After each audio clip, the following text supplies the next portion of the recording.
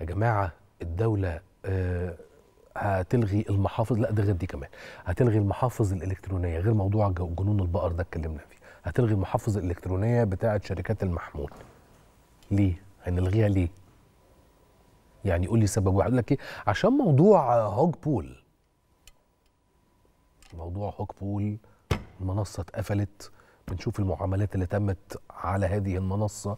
أو إلى آخره تم التدقيق فيها نشوف هنقدر نعمل إيه إلى آخره. بالمناسبة ده مش خطأ من الدولة في شيء. بني آدم قرر إنه يطلع بره الجهاز المصرفي ويطلع بره أي شكل من أشكال الاستثمارات المشروعة في البلاد علشان يحقق ربح سريع. وبالرغم من ذلك الدولة قاعدة عمالة بتشتغل على قدم وساق علشان تقدر قدر الاستطاعة تجيب للناس دي فلوسها. لكن طلعت الإشاعة. المركز الإعلامي مشكورا كما جرت العادة مش بس بينفي لكن بيرجع فورا للجهاز القومي لتنظيم الاتصالات. ويقول لهم يا جماعة إيه اللي حصل؟ فالجهاز القومي لتنظيم الاتصالات قالوا ما حصلش أي شيء كل ما تم تداوله. عن طريق بقى رسائل صوتية الحقوا يا جماعة تم إلغاء المحافظ الإلكترونية. آه، آه، رسائل عادية آه، واتساب حاجات بتجيلك مش عارف على فيسبوك. إلخ إلخ إلخ إلخ. لا صحة له على الإطلاق لا من قريب ولا من بعيد. بيأكد الجهاز وبيقول يا جماعة خدمة المحافظ الإلكترونية زي ما هي بتشتغل بشكل طبيعي ومنتظم ولا توجد أي عوائق لأي شركة من شركات الاتصالات في هذا الشأن.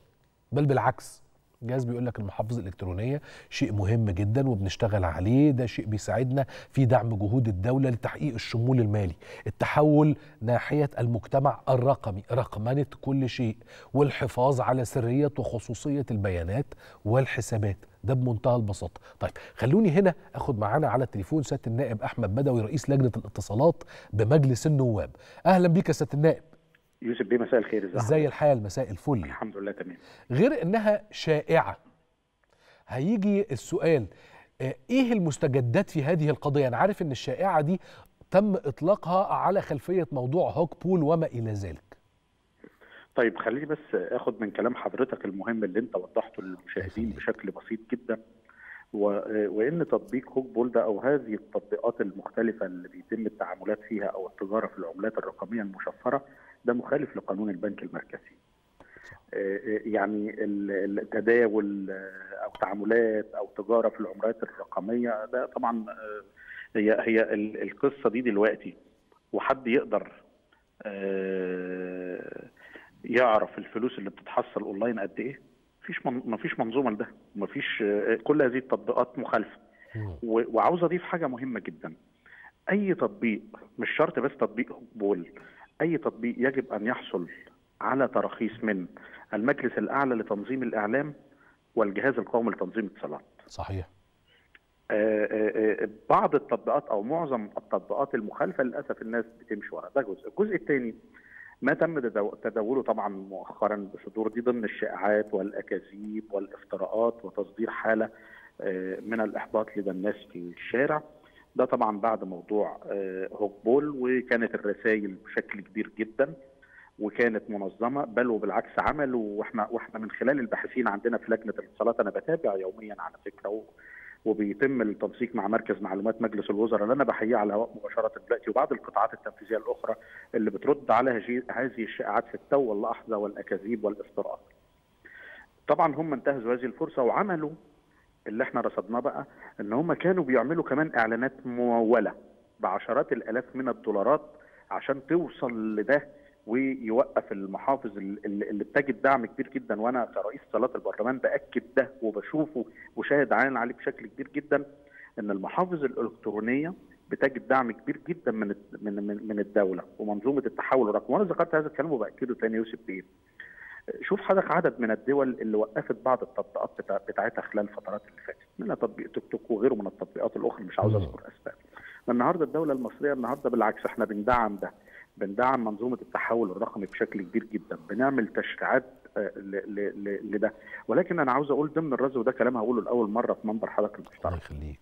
إحنا من عام 2018 وإحنا النهارده في عام 23 عام 2018 أنا أنا كنت وقتها آه، في في صالات البرلمان برضو.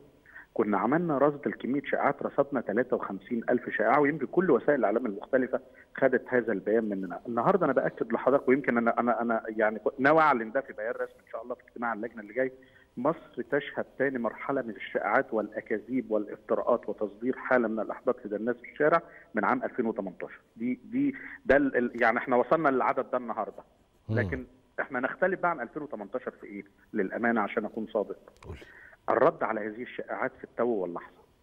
النهارده كل القطاعات التنفيذية بترد، عشان كده بعد ما تم الرد بقى هرجع تاني للموضوع اللي حضرتك بتتحدث فيه وهو وقف خدمة أو شائعة وقف خدمة المحافظ الإلكترونية الخاصة بشركات خدمات الاتصالات، النهارده الجهاز القومي لتنظيم الاتصالات عمل بيان رسمي وقال يا جماعة إحنا لم آه، يتم تماما وقف المحافظ الإلكترونية ونفى هذه الأنباء وقال اللي عنده مشكلة يتصل بينا آه، على الرقم بتاعنا 155 ال- ال- ال- ال- الرد على هذه الشائعات لم يحدث أي تأثير على العملاء.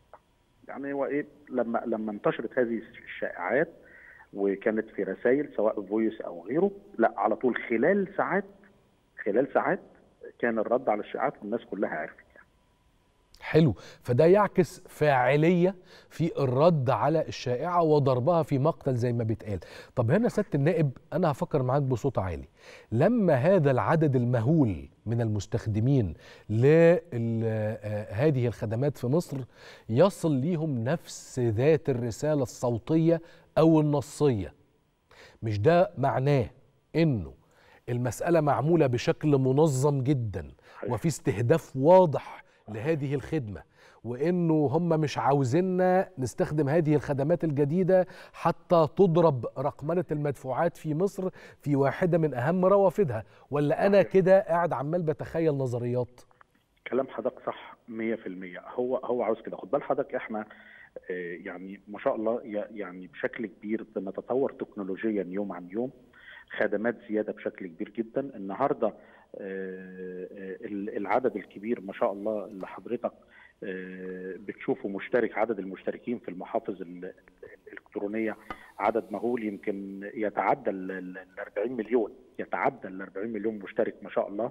وده بيشجع على الاستثمارات في صناعة تكنولوجيا المعلومات. ده بجانب أنا بأكد حاجة تانية. إحنا عملنا قانون حماية البيانات الشخصية. الحقيقة أنا مش ببالغ والله لما بقول لك ان ده من أنجح القوانين اللي, اتعملت وشهدت.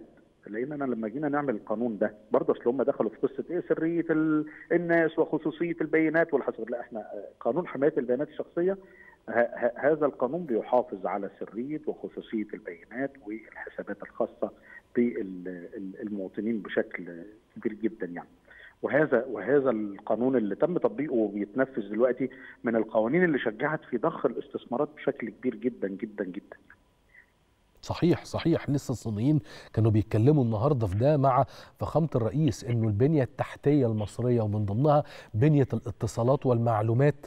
شهدت تطور كبير جدا. ده اللي شجع الصينيين على إن هم يجوا وعاوزين يبنوا المزيد من الاستثمارات والشراكات مع مصر.